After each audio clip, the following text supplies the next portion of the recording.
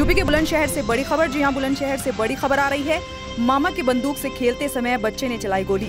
हादसे में गोली लगने से भांजे ने मौके पर ही दम तोड़ा। सूचना के बाद घटनास्थल पर पहुँची पुलिस, पोस्टमार्टम के लिए भेजी डेड बॉडी। सलेमपुरा थाना इलाके की घटना ननिहाल में मामा के घर आया हुआ था भांजा। यूपी के बुलंदशहर से बड़ी खबर। जी हाँ इस वक्त बुलंदशहर से बड़ी खबर आ रही है। मामा की बंदूक से खेलते समय बच्चे ने चलाई गोली।